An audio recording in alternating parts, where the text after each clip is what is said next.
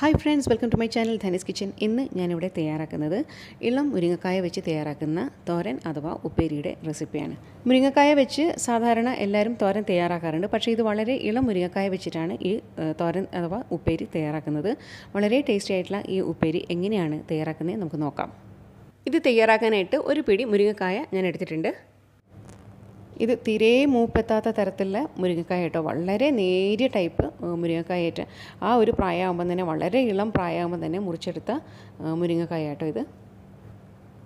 ഇത് വീട്ടിൽ നിന്ന് തന്നെ പറിച്ചെടുത്ത മുരിങ്ങക്കായാണ് കേട്ടോ. അപ്പോൾ അതുകൊണ്ട് തന്നെ നമുക്ക് കൂടുതലായിട്ട് കഴുകി വൃത്തിയാക്കേണ്ട കാര്യമൊന്നുമില്ല. എന്നാലും നന്നായിട്ടൊന്ന് കഴുകി അതിനകത്തുള്ള അഴുക്കൊക്കെ ഒന്ന് പോക്കിയിട്ട് ഇതാ ഇതുപോലെ ചെറുതായിട്ട് നേരിയതായിട്ട് കട്ട് ചെയ്തെടുക്കണം. അതിന്റെ തൊലിയൊന്നും കളയേണ്ട കാര്യമില്ല.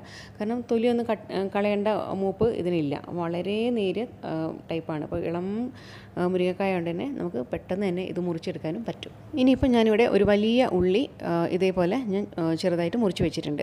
അപ്പം വലിയതാണെങ്കിൽ ഒന്ന് മതി. ഇനി അഥവാ ചെറിയ ചെറിയ ടൈപ്പാണ് സവാളയെങ്കിൽ ഒരു രണ്ടെണ്ണം എടുക്കുക. ഒരു ചീനച്ചട്ടി അടുപ്പത്ത് വെച്ചിട്ട് അതിലേക്ക് ഒരല്പം ഓയിൽ ഒഴിച്ചു കൊടുക്കുക. എന്നിട്ട് ഇതിനകത്തേക്ക് സവാള ചേർത്ത് കൊടുക്കാം.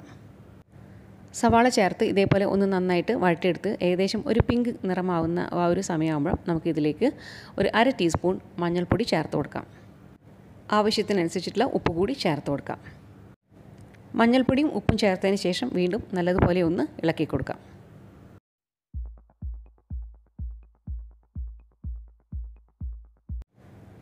ഏകദേശം മൂത്ത് വരുമ്പോഴേക്കും നമുക്കിതിലേക്ക് ഒരല്പം കറിവേപ്പില ചേർത്ത് കൊടുക്കാം. അപ്പോൾ കറിവേപ്പില എന്റെ കയ്യിൽ ഇപ്പോൾ വളരെ കുറച്ച് മാത്രമേ ഉള്ളൂ. അപ്പം കയ്യിൽ കൂടുതലുള്ളവർ കൂടുതൽ ചേർത്ത് കൊടുക്കുക. അരിഞ്ഞു വെച്ച ഇളം മുരിങ്ങക്കായ കൂടി ഇതിലേക്ക് ചേർത്ത് കൊടുക്കാം.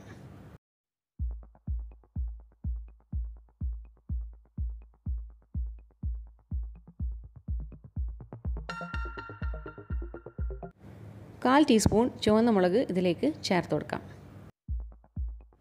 മുളക് പൊടി ചേർക്കുമ്പോൾ കുറച്ച് മാത്രം ചേർത്താൽ മതി. കാൽ കപ്പ് വെള്ളം ഇതിലേക്ക് ഒഴിച്ചു കൊടുക്കാം. വീണ്ടും നല്ലതുപോലെ ഒന്ന് എല്ലാം കൂടി ഒന്ന് കൂട്ടി യോജിപ്പിച്ച് വെക്കാം. ഒരടപ്പ് വെച്ച് ഇതൊന്ന് മൂടി വെക്കാം. ഇതെല്ലാം കൂടി ഒന്ന് നന്നായിട്ട് വെന്ത് വരട്ടെ. ഇതിങ്ങനെ വെന്ത് വരുന്ന നേരം കൊണ്ട് നമുക്ക് അരപ്പ് തയ്യാറാക്കാം. അതിന് വേണ്ടിയിട്ട് ഒരു ചെറിയ ബൗൾ തേങ്ങയും അതിലേക്ക് രണ്ട് പച്ചമുളക് ഒരു തണ്ട് കറിവേപ്പില ഒരു മൂന്ന് അല്ലി വെളുത്തുള്ളി കൂടി ചേർത്തിട്ട് ഒന്ന് മിക്സിയിൽ ഒന്ന് തരുതെരുപ്പായിട്ട് അരച്ചെടുക്കണം. ഇപ്പോൾ ഇതിങ്ങനെ ഇതാ തരുതരുപ്പായിട്ട് ഞാൻ അരച്ചെടുത്ത് വെച്ചിട്ടുണ്ട്.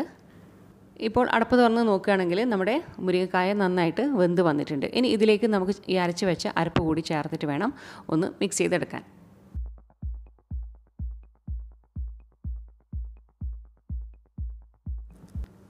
ഇനി ഒരു ചീനച്ചട്ടിയിലേക്ക് ഒരല്പം എണ്ണ ഒഴിച്ചു കൊടുക്കാം. ഒരു മൂന്ന് ടേബിൾ സ്പൂൺ എണ്ണ ചേർത്ത് കൊടുത്തിട്ട് നമുക്ക് ഇതിലേക്ക് ഒരല്പം കടുക് ചേർത്ത് കൊടുക്കാം. ഇപ്പോൾ കടുക് ഏകദേശം ഒന്ന് പൊട്ടി തുടങ്ങാൻ തുടങ്ങിയിട്ടുണ്ട്. അപ്പോൾ ഈ ഒരു സമയത്ത് തന്നെ നമുക്ക് ഒരു രണ്ട് മൂന്ന് വറ്റൽമുളക് കൂടി ഇതിലേക്ക് ചേർത്ത് കൊടുക്കാം. എന്നിട്ട് ഒന്ന് ഇതേപോലെ ഒന്ന് ഇളക്കാം. ഇനി ഇതിലേക്ക് ഒരു കുറച്ച് കറിവേപ്പില കൂടി ചേർത്ത് കൊടുക്കാം. ഇനി ഈ ഒരു കൂട്ട് നമുക്ക് നേരത്തെ തയ്യാറാക്കി വെച്ച മുരിങ്ങക്കായ തോരനിലേക്ക് ചേർത്ത് കൊടുക്കാം. ഉപ്പേരിയിലേക്ക് ചേർത്ത് കൊടുക്കാം. എന്നിട്ട് നല്ലപോലെ ഒന്ന് മിക്സ് ചെയ്തെടുക്കാം. ഇപ്പോൾ ഇളം മുരിങ്ങക്കായ തോരൻ തയ്യാറായി കഴിഞ്ഞു. എല്ലാവർക്കും എന്റെ വീഡിയോ ഇഷ്ടമായിട്ടുണ്ടാകുമെന്ന് വിചാരിക്കുന്നു. ഇഷ്ടമായിട്ടുണ്ടെങ്കിൽ ഒന്ന് ലൈക്ക് ചെയ്യുക ഷെയർ ചെയ്യുക സബ്സ്ക്രൈബ് ചെയ്യുക. താഴെയുള്ള ബെല്ലൈക്കൺ കൂടി ഒന്ന് എനേബിൾ ചെയ്യുകയാണെങ്കിൽ പുതിയ വീഡിയോസിന്റെ നോട്ടിഫിക്കേഷൻസ് കിട്ടുന്നതായിരിക്കും. എല്ലാവർക്കും എന്റെ ഹൃദയം നിറഞ്ഞ ഓണാശംസകൾ.